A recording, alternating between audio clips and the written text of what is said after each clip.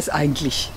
TTIP, CETA, TISA, TTP oder diese ganzen Abkürzungen, mit denen wir uns gerade herumschlagen müssen.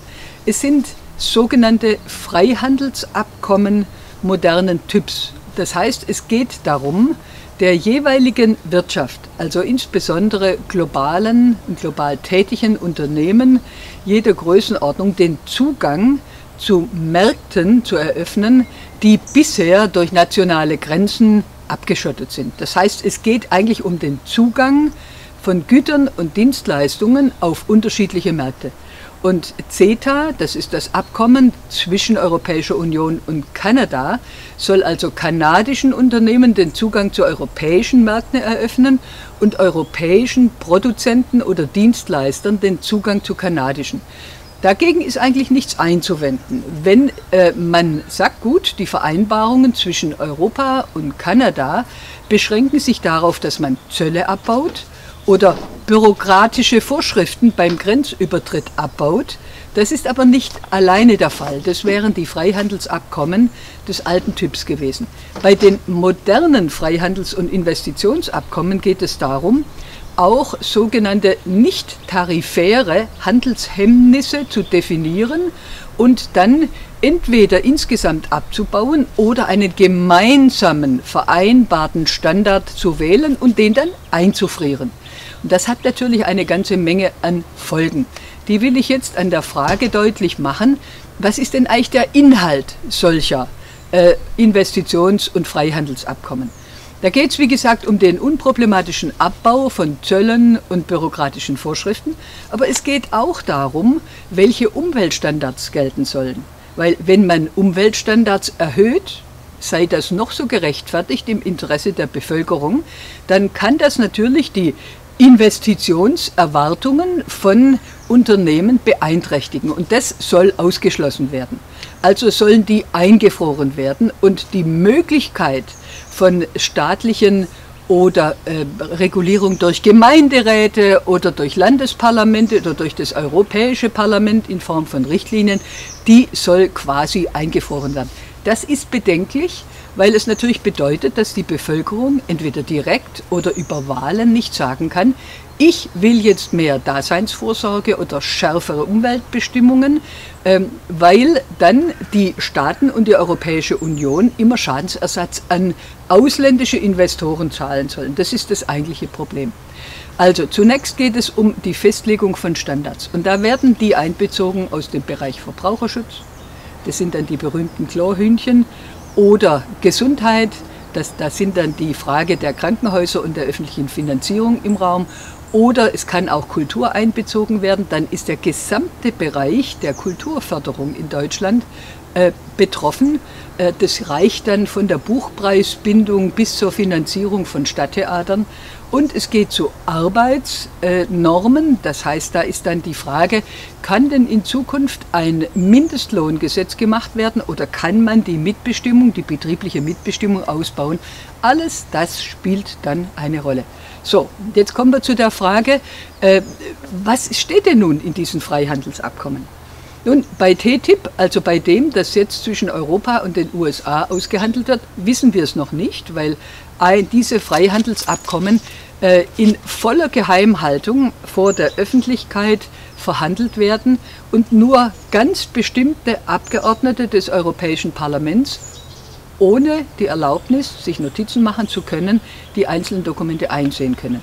Wir wissen es von CETA, also dem europäisch-kanadischen Abkommen. Und da können wir natürlich drei riesige Problembereiche sehen. Die will ich jetzt mal schildern. Äh, Transparenz gibt es auch da nicht, weil der offizielle Text immer noch nicht vorliegt, obwohl das am Freitag vergangener Woche unterschrieben wurde. Der zweite Punkt äh, ist, dass äh, die äh, Bereiche, die einbezogen werden, nicht äh, in einer Liste mit erstens, zweitens, drittens, viertens äh, bestimmt und genau abgegrenzt werden, sondern man sagt grundsätzlich erstmal weite Bereiche und wir nehmen einige raus. Das hat den enormen Nachteil, dass neue Entwicklungen oder neue Unternehmen immer Streitfälle sein werden. Fallen sie unter das Einfrierungsgebot oder tun sie das nicht? Und da kommt dann das zweite Problem äh, zum Tragen. Wer entscheidet darüber, ob sie drunter fallen oder nicht? Das machen nicht etwa Parlamente oder ganz normale Gerichte, sondern das machen Vertragsgremien, die sogenannten Regulierungsräte, die aber weder Parlamenten verantwortlich sind, noch durch normale Gerichte nachprüfbar, noch sind demokratisch legitimierte Vertreter Mitglieder drin, sondern das sind Lobbyisten, die im Übrigen auch von jeder staatlichen Behörde die Veränderungen in ihrem Bereich machen wollen, also zum Beispiel Umweltvorschriften oder Gesundheitsstandards verbessern, müssen die rechtzeitig informiert werden. Die müssen die Möglichkeit haben, Einfluss zu nehmen und äh, natürlich verstärkt das den Einfluss der Lobbyisten und sie müssen die Möglichkeit haben, äh, jetzt komme ich zum dritten Bereich, äh, auch gegen diese Regulierung vorzugehen. Wie machen Sie das?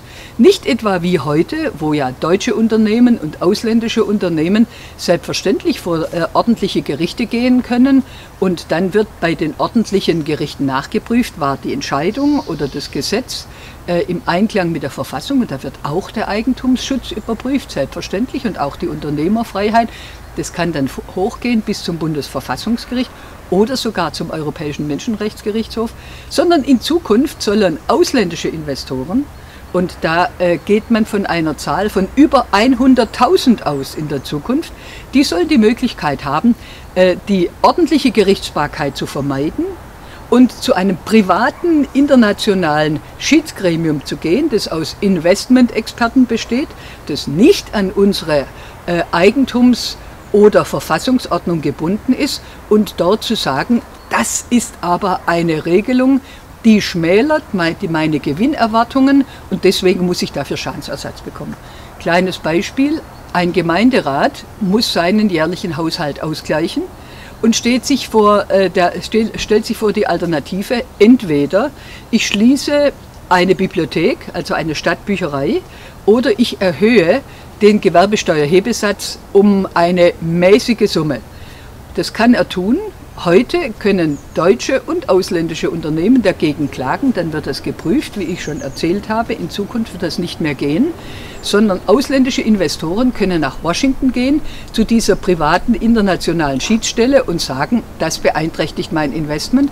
Und diese Stelle ist eben nicht gebunden an die deutsche oder europäische Eigentumsordnung, nach der Eigentum auch verpflichtet, sondern da wird nur geguckt, beeinträchtigt das das Investment und zwar von Anfang bis Ende und wenn ja, ist eine Schadensersatzpflicht fällig. Und das ist natürlich eine Sache, die vielen Leuten erhebliche Sorgen macht.